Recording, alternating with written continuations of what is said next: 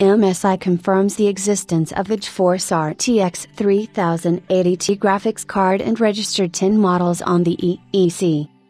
Recently, rumors about the imminent release of the GeForce RTX 3080Ti video card, which should receive 20 GB of video memory, have begun to appear less and less.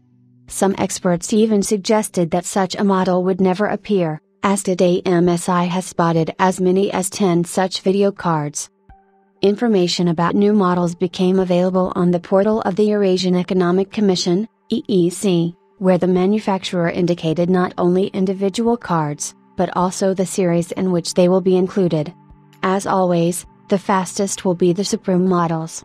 The next series, Seahawk will receive a full-fledged water block, which not only guarantees high clock frequencies from the factory, but also quiet operation of the entire system. Additionally listed, Aero series with traditional air cooling, Gaming series and MSI Ventus.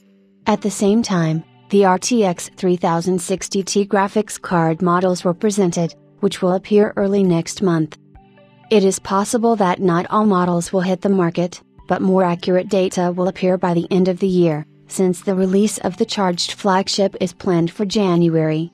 As for the estimated specifications, it will be a slightly stripped down version of the GeForce RTX 3090 with a TDP of 320 watts.